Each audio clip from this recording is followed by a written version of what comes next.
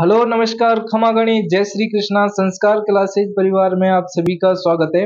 आइए देखते हैं आज का पहला क्वेश्चन प्रतिहार शासक जिसने सर्वप्रथम जालोर को अपनी राजधानी बनाया था, क्या नाम था उनका? नागभट्ट द्वितीय, नागभट्ट प्रथम, महेंद्रपाल प्रथम या महेंद्रपाल द्वितीय? नागभट्ट प्रथम ने जालोर को अपनी राजधानी बनाया था। अजमेर में स्थित ख्वाजा साहब की दरगाह में स्थित बड़ी देग किस मुगल सम्राट द्वारा भेंट की गई है? हुमायूं, जहांगीर, शाहजहां, अकबर। किसके ज़रिए भेंट की गई है? अकबर के ज़रिए भेंट की गई है। देखिए, ललित बिग्र राज का लेखक कौन था? बहुत अच्छा क्वेश्चन है। देखिए, राजशेखर, जयानक, सोमदेव विशलदेव ललित बिग्र राज का लेखक कौन है? देखिए, सोमदेव ललित बिग्र राज के क्या थे? लेखक थे। नेक्स्ट क्वेश्चन देखिए। निम्नलिखित में से पद्मनी और कर्मावती किस वजह से विख्यात है? गीत संगीत, मेहर, जौहर, पीहर। सभी जानते हैं, ये जौहर के लिए विख्यात है। आप सभी को पता है, जौहर के लिए विख्यात है। मेवाड़ का प्रथम शासक जिसने मुगलों से संधि की थी, मुगलों से संधि की थी, उसके बारे में बताना है।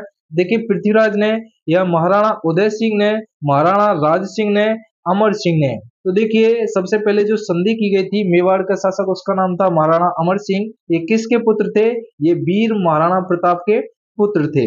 अगला क्वेश्चन निम्नलिखित में से ढूंढाड़ राज्य की स्थापना किसने की थी? वासुदेव ने, चंद्रशेखर ने, राज सिंह ने, दुल्हराय ने। सभी बच्चे को पता होगा, सभी बच्चों को पता होगा ऑप्शन नंबर डी दुल्हराय के ज़रिए ढूंढाड़ राज्य की स्थापना की गई थी। जंतर मंतर में सूर्य घड़ी के निर्माता कौन थे? सबसे पहले ये ध्यान रखें जंतर मंतर है कहाँ पर है? जयपुर के अंदर है, ये भी आपको ध्यान में रखना है। सूर्य घड़ी का निर्माण किसने कराया था? सवाई जयसिंह द्वितीय के ज़रिए सूर्य घड़ी का निर्माण कराया गया था। देखिए, हरखा बाई कौन थी? आप सभी को पता है हरखा बाई कौन थी? देखिए, हाड़ा राजकुमारी थी, या राठौड़ राजकुमारी थी कछवा राजकुमारी थी, या फिर सिसोदिया राजकुमारी थी। तो हाड़ा राजकुमारी कौन थी? कछवा राजकुमारी। ध्यान रखना है ऑप्शन नंबर सी कच्छवा राजकुमारी हड़ा रानी थी। चलिए, महाराजा मानसिंह की मृत्यु कहाँ पर हुई थी? कितना प्यारा क्वेश्चन है।